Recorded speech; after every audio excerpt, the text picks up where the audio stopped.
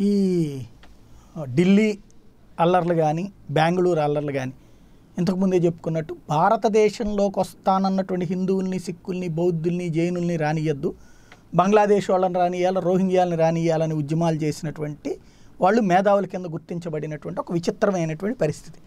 కానీ దీని వెనకాల ఉన్నటువంటి కుట్ర కోణాలు ఒకటొకటిగా వెలుగులోకి వస్తున్నాయి.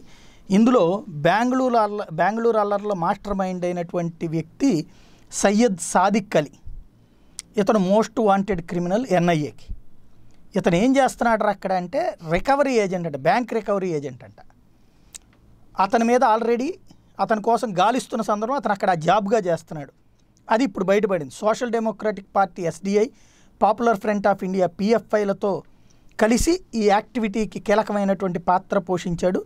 బెంగళూరులో జరిగినటువంటి దారుణకాండలో దేవరాజన్హాపల్లి డిహళ్ళి కడుకొండనహళ్ళి కేజీహళ్ళి పోలీస్ స్టేషన్కి నిప్పంటించినటువంటి ఘటనలో కాంగ్రెస్ ఎమ్మెల్యే అఖండ శ్రీనివాసమూర్తి చెల్లెలు జయంతితో పాటు మూడు వందల ఎనభై మందిని అరెస్ట్ చేసినటువంటి సందర్భంలో వాళ్ళకి ఈ ఆదేశాలు ఇచ్చినటువంటి వాళ్ళు ఎవరు అంటే ఈ పర్సన్ ఈ పర్సన్కి ఎవరితో సంబంధాలు ఉన్నాయంటే వీళ్ళు అనేటువంటిది లేటెస్ట్గా తేలింది. ఇంకా ఏం తేలుతాయో చూడాలి.